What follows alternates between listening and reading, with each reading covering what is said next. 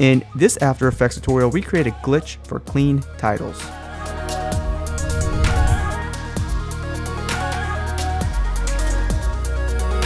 Hey, what's going on internet? Josh Noel from Sonduck Film and in our last tutorial we did a digital distortion or this sort of glitch effect for an entire scene with more of a, a digital feel. But I think in other applications like in doing simple and clean text, I still think you can apply the glitch effect and make it look very, you know, minimalistic and, you know, not overwhelming. I, I think in this case, applying a glitch effect to clean titles could just be like a nice uh, transition on until the full title. So I think that's pretty interesting. That's what we'll be doing in this tutorial is seeing how we can apply the glitch effect to our clean titles. So I'm gonna go over to a new composition over here. I already have a background in here and the entire design of the title comes through good typography and very minimal design. So we're gonna go grab the text title tool and we're gonna type out our first piece of text, which I'm going to call it a clean uh, glitch. And go ahead, I'm going to change this color to just pure white. Uh, and of course, you know, coloring matters. And being able to work with good typefaces also is a huge standpoint. So I'm using the typeface Gotham. And of course, you know, you probably are not going to have this, so you might want to go ahead and search it up. Um, of course, it's a sans serif font, so of course you might want to try to figure out what other fonts, uh, sorry, excuse me, typefaces will work for you. But in this case, I have my text here. I'm going to come here and create a subtitle, and I'll just type in title.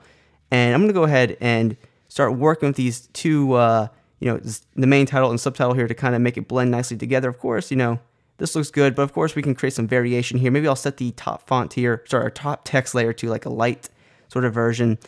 And I'll go ahead and make it just a touch bigger as well. So it just kind of stands out a little bit more and that should be interesting. I'll go ahead and offset this. So I think this is a good, you know, place to line up text. Of course, let's go to the Align tab and let's go ahead and horizontal alignment right this so they're perfectly matched up like that.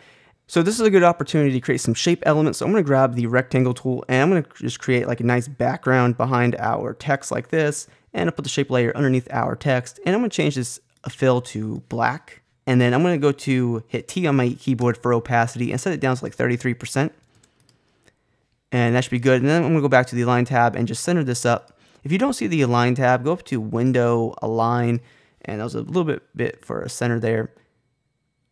And we'll just put that right there. But then, you know, then what I'll do is just make sure the clean glitch and the shape layer are selected and then center those up like that. So that, that means they're right in the middle. And then we come back to the title down here and you bring this down by a touch. Then I'm gonna go ahead and grab the pen tool here and I'm just gonna go ahead and just draw out like a straight point like this. Hold down shift to create a straight line and I'm gonna go straight down like this as well. And we'll go ahead and turn off the fill by clicking the word fill. Click on none, click OK, go to stroke, turn that on to solid color and go ahead and change the color. I'm using a pixel count of three and we come here, see what we have. And of course this isn't perfectly, you know, balanced here. So what we can do is just go into the shape layer here go into the contents, go into the shape, go into the path, select the path, and we can just come here and select some of these points and kind of work with how these are positioned up a little bit. If you weren't perfect there, of course, maybe we'll bring this in by touch. That looks good. And then we'll come in here, duplicate the shape. So make sure the shape is selected. Go up to Edit, Duplicate, and go into the Shape 2. Go into the Transform Shape 2. Go to the Rotation, and we'll set this to 180 degrees. And it will be on this side. We might need to come here, go into the position for the shape 2 and kind of put that back in its spot. For shape 2, we'll go back into the stroke here and we'll set this color to white so it kind of matches up with our text. And, you know, for the most part, we have a nice design in here. Of course, what I would like to do is go to add and add a trim paths and open up trim paths, add a keyframe for start and go forward to like the end of our animation, maybe like seven seconds or something, and just increase the start by a little bit. So there's a little bit of, you know, animation going on here and just a little bit of movement so it's not a static image once we're done with the glitches. So for the most part, we're ready to go. This is just my design. There's a ton of way to design these sort of clean titles, but let's go ahead and create the glitches and the distortion map. So if you watched my last tutorial, you should probably already know how to do this, but we're gonna go ahead and we're gonna grab the rectangle tool, turn off the stroke here by clicking the word stroke and set that to none and go to the fill, click the word fill, turn that on, and we'll go in here, set the color to white. It doesn't really matter what color you use. So what we're gonna do is maybe just turn off all these layers real fast and we're just gonna draw out like these thin rectangles going all the way across like this. It doesn't have to go all the way across, but just create like these thin rectangles. Or if you want, you can also create little thick ones. It doesn't really matter. But the thing is, this should just be random. There's no objective to it. and that's looking good. And then what you need to do is once you have like a nice little design here, go to like the beginning of the timeline, maybe go to like three frames or something like that. Go ahead and split that layer and delete it or just drag the, you know, in point in or sorry, the out point in. It doesn't really matter how you do it. You go up to edit, split layer, and that will split the layer like I just did it. So now that we have this shape layer in here, we need to go ahead and create several more variations of this. Uh, so make sure the shape layer is not selected and draw, keep drawing out several more like this. And, you know, you don't have to put a lot of detail into it. Like this should be good enough. And we'll bring up the endpoint, go to six frames, split the layer, delete it. And, you know, maybe this one start right over again. What we want to do is almost create this animation of shape layers going across our timeline for the duration of the glitch. So in this case, I would really only need like three seconds of these shape layers. So I would go through this three frames at a time until I'm at three seconds. So go ahead and continue to create these and I'll be right back. Okay, so I have enough shape layers going on to six seconds. Like I said, three seconds could be good enough. But once you're done with all these shape layers, go ahead and select all of them, go up to layer, pre-compose, and we can call it uh, distortion map. And Click OK. And now we have all of our distortions in here going on for about six seconds here. And that's exactly what we need. And then what we need to do is go up to layer, new adjustment layer. And then we'll go up to effect, distort, and we're going to add displacement map.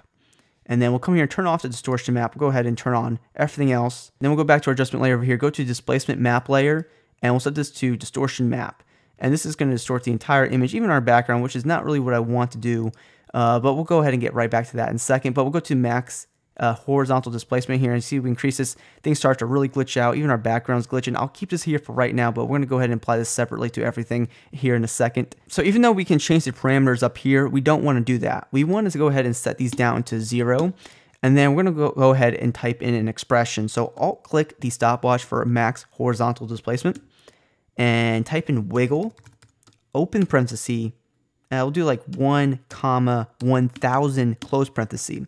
And basically this is going to just jump the image all over the place and it's not going to be static. So we're kind of getting that, you know, inconsistent glitch effect all over the place, which I really think that works for this effect. Then we'll go back here to the top and I'll click the max vertical displacement. I'll click it and type in wiggle, open parenthesis 1 comma 500 close parenthesis. And now we're gonna have this entire glitch going all over the place. And what I like to do since these you know elements are being grouped together, um, I don't like actually using the adjustment layer for all of our images. I like to copy the effect, turn off the adjustment layer, and individually paste the effect into each of our own layers in here, just so it's everything's not moving together as a nice group. Things are kind of isolated, and you know things are all over the place, and we don't need to apply it to the background. So in this case, you know we have this glitch happening all over the place, and I think that's you know pretty good. So we're just about done, but let's go ahead and customize this glitch just a little bit more. Let's go ahead and select everything except for our background layer. Go up to Layer, Pre-Compose, and we can call this one Glitch Setup or something, Glitch Design. It doesn't really matter. I really don't know what to name these things, but, you know, move all attributes into new composition, click OK. And what we're going to do is we're going to duplicate this layer, turn it off the top layer, go to our bottom layer down here, and go to the rectangle tool, and we're just going to draw out like a rectangle mask, kind of, you know, like this and set it to subtract. So this way we won't be able to see the main, you know, title until, you know, after a few glitches here. And I think that'll be fine. So if we don't have this on, you know, we're to be able to see like the main title most of the time. And we don't want to see that because this is like a nice transition. And, you know, that's what we need to do. So what we can do here with this top layer is, you know, maybe bring in the endpoints by a little bit. So, you know, here we have nothing. And then we can see the main glitch title here for a second then split this layer, you know, bring in this endpoint. So we see it for a second, goes away, goes back to the glitches. And of course, you know, we can always adjust the mask if we don't like it in that area. You know, we might just want to cut off the entire middle of this, which is totally fine by me. Go back through here and just variate this by a touch. And then boom. All right, so now we have all these glitches happening, and then we want it to stop here, say at like two seconds or something. So we'll go back into our glitch setup, and we'll go ahead and select all of our layers, go to Edit Split Layer, bring these to the top, and we'll just go ahead and color code these real fast so it doesn't look like we're like a big mess.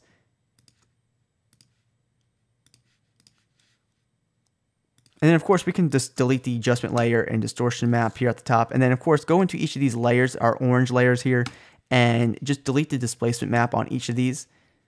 So basically this will stop the glitching. If we go back to our main comp over here, you know, it goes back to normal. And of course, we need to go down to our, you know, our mask down here and split that layer and just delete it right at that endpoint. So boom, it just goes right into it. And now we have our titles with our slow stroke animation there. So and then for one last thing I would like to do is add motion blur to it. Now you can't just turn on motion blur down here because there really isn't any true animation going on unless it's just the strokes up here.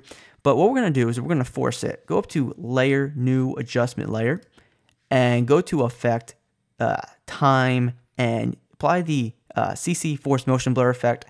And that's pretty much it. So basically, we're just applying this uh, effect add motion blur, and then you should be ready to go. Basically, that's how you can do this effect. And if you are following along with this tutorial, this is a, what you should have gotten.